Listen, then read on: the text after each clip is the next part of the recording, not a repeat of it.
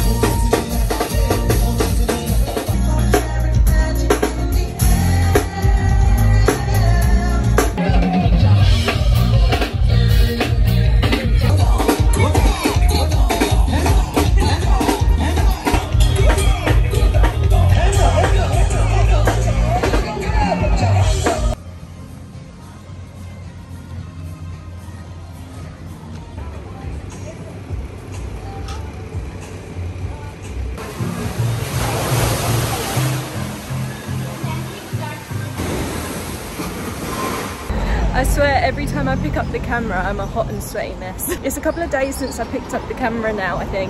Um, we went to Harbour Lights, the Harbour Lights dinner show. Do you know what? I don't even know if you can hear me because we're walking down that trafficy road again. So yeah, we went to Harbour Lights uh, dinner and show the other night and it was really, really good. It was really nice to see everyone enjoying themselves. Um, the entertainment around the uh, hotel has been pretty non-existent and we think it's because things are just picking up since COVID. Like there's not much going on. The last few nights there's been some music and there's been like a guy singing and stuff but just not kind of what you'd expect. But obviously it's like things are just picking up since COVID. Anyway we went with lots of people from our resort. To be honest half the coach was filled with people from our resort and we sat with the couple and their little girl she's about three um, that told us about it and we met around the pool. And he's also the guy who had trouble with getting his band off at the beginning. Um, and we had a really really nice night and I'd really recommend it if you're here. Sorry we just had to walk past a couple of people so I stopped filming.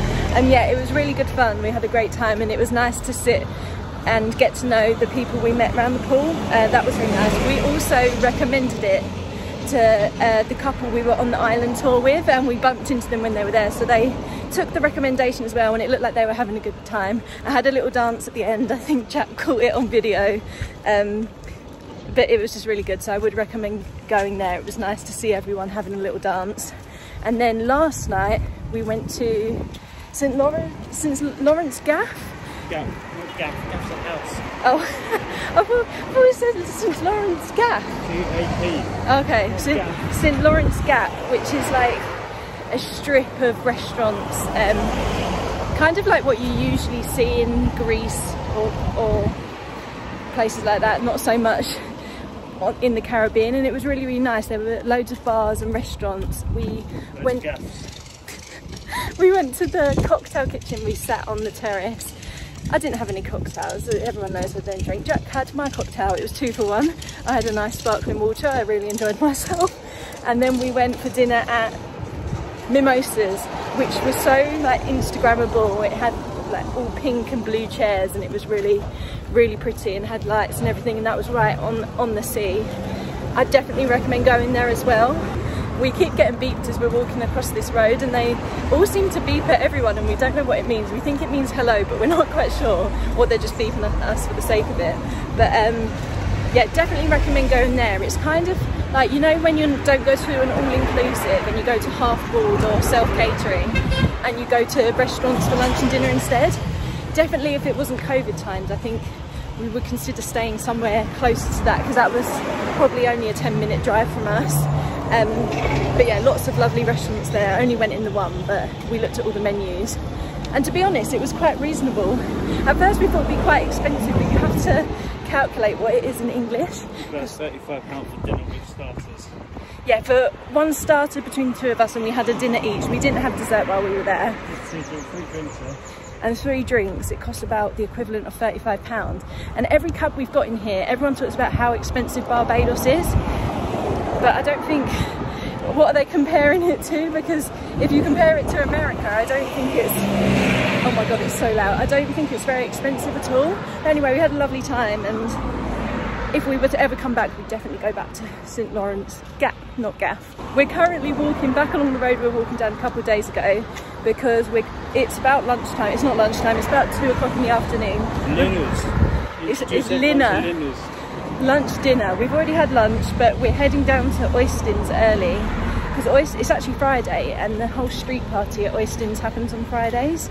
But we've heard a bit of feedback from a few people that everyone who has gone has been a little disappointed. It's not quite the atmosphere because of COVID, like the atmosphere that it was pre-COVID. So yeah, we're walking down to Oistins now, which is only a 10 minute walk from our hotel. And we're also gonna grab some cash at the cash point we went to the other day because we've got off-roading booked for tomorrow and we just WhatsApp the guy. You, you, can't book that one online, so we've got to pay in cash. I think we're, we've got some cash left. We just want to get a little bit more. We've only got the rest of the today, tomorrow, and then Sunday evening we leave. I don't know what time our private transfer is picking us up. We probably have to check.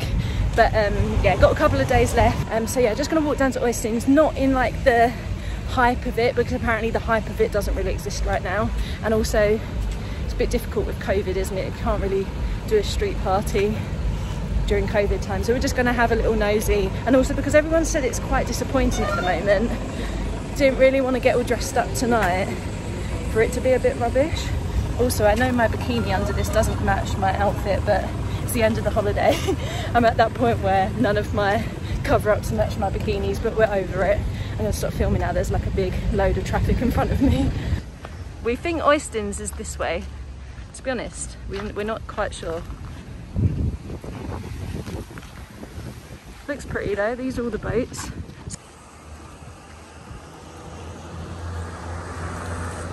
Um, if you're wondering how Oistins went, we wouldn't know, but we did find a Chefette and got some more ice cream. Um, we got to Oistins and it was pretty much just like raw fish, a raw fish market. We asked someone and there was like some chairs further down for I guess if they cooked it, but to be honest, it wasn't very clear what it was or where it was, and the people seemed a bit weird. Like they were just trying to force us to buy raw fish, and we didn't really know, know what was going on. We thought you go there and have, eat cooked fish, which I think is the deal. Maybe everyone told us it's open all day, but maybe it's just later in the evening. Either way, we're not too fast. We saw it from the other side of the road. Well, we walked into what we think was it, but I don't know, it was just a bit weird. There was no big sign, what we thought there would be, saying like Oistins Fish Market or anything. Either way, there was a Chefette on the other side of the road where we got ice cream the other day when we were in Bridgetown. We're currently walking back to our hotel. It is so, so hot. It is like the heat of the day at the moment. We're gonna go back and jump in the pool and probably stay there until five-ish and then head back to the room. We've got no major plans for the rest of the holiday apart from tomorrow, the off-roading but we've gone into complete relax mode. We're both so, so tired because we're in holiday mode. So even though we've not done loads, oh my god, this road is so noisy. Even though we've not done loads in the last couple of days, we're so exhausted because our bodies are on shutdown. but it's really nice. But we miss Tilly so, so much. Ah, some shade. Yeah, we can't wait to get back to Tilly. I don't know if I said, but she's staying with my mum, dad and brother and they are so besotted with her. Obviously, they see her every weekend anyway, and I pretty much stay at home every weekend anyway, but they've had her for the last, it would have been 12 nights by the time we're home, and they said they do not want to give her back. So I'm going to steal, steal her off of them and take her home and give her endless cuddles because as much as we love going on holiday, this is the longest we have been away from her. And also the first time we've been away from her in 18, 19 months. So it's been tough. I miss her in the mornings and the evenings and just cuddling her in bed. So I literally can't wait to get back and have her back and have my baby back. But it's so funny that they don't want to give her back. I knew that would happen. She's just like a little human. No one understands until they look after her. But she is our little human baby. She's not a dog. End of. I've said it. She's a little human in a little doggy body. We're back.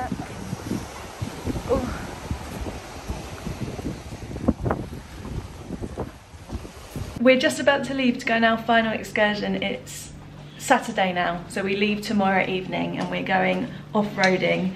Don't know if wearing a white top was the best idea, but it's old, it doesn't matter. Honestly, don't really know what to expect, and to be honest, I'm hoping Jack can drive. Oh, Um, driving licenses. Oh, driving licenses. Okay, we need to check we've got those.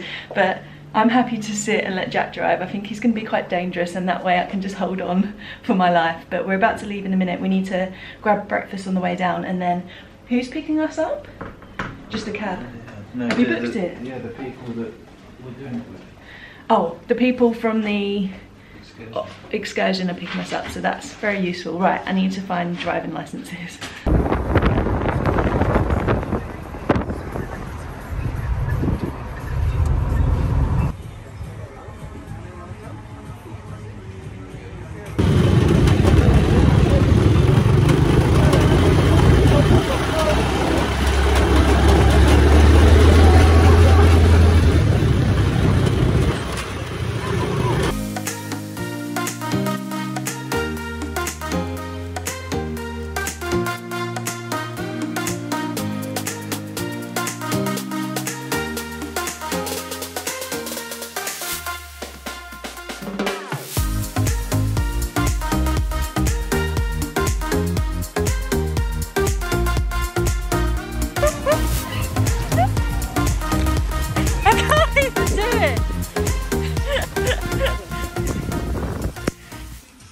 From off-roading now. I look a bit worse for wear. I need to sort my hair out. We had a bit of a water fight. They really think of everything here. I'm so impressed.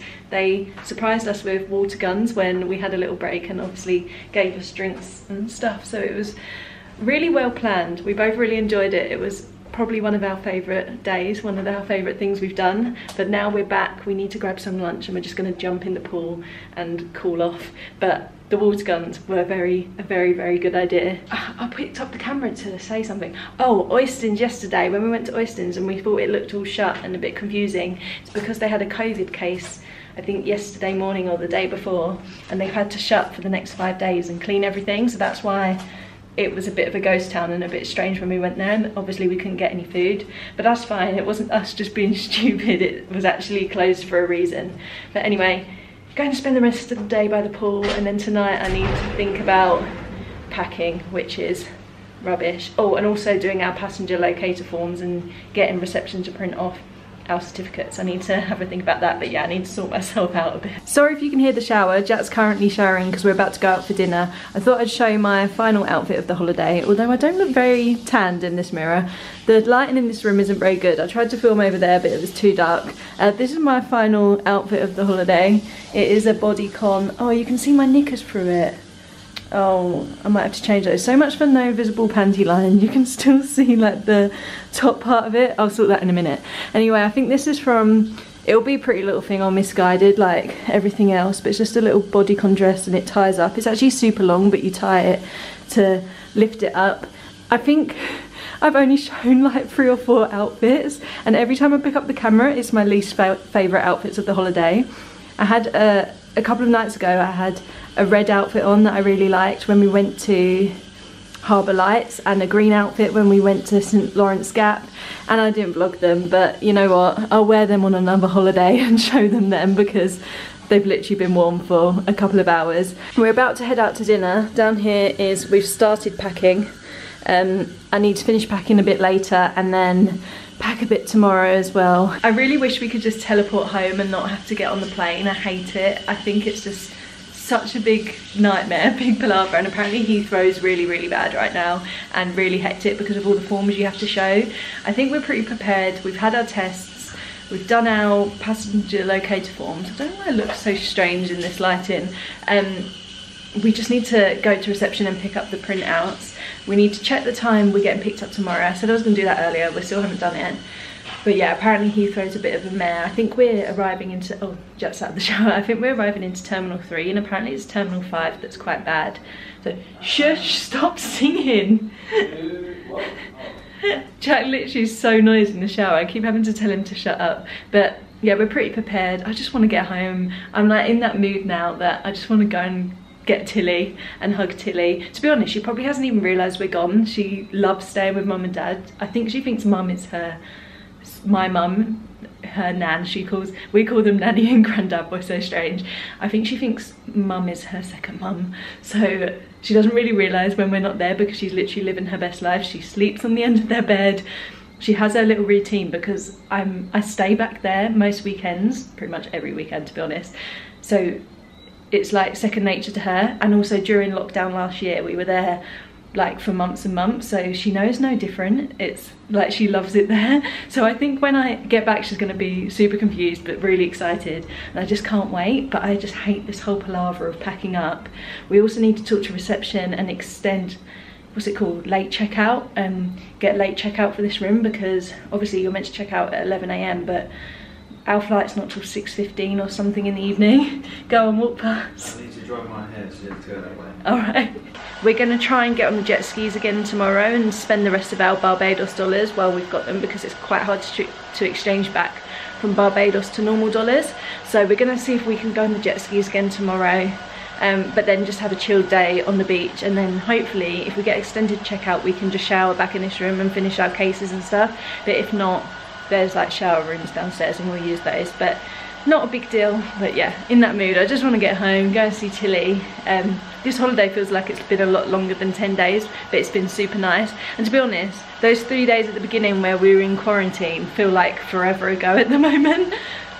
Like it feels like a whole lifetime ago. So we were quite annoyed at the beginning but it hasn't ruined the whole holiday because we had an extra seven days after that and we've done everything we wanted to do um, and we've actually been so thrilled with everything we've booked nothing has been disappointing everything has exceeded our expectations so yeah very very pleased now we've just got the long trip home and then I get to see my fur baby and I'm so excited Oh, my little fluffy!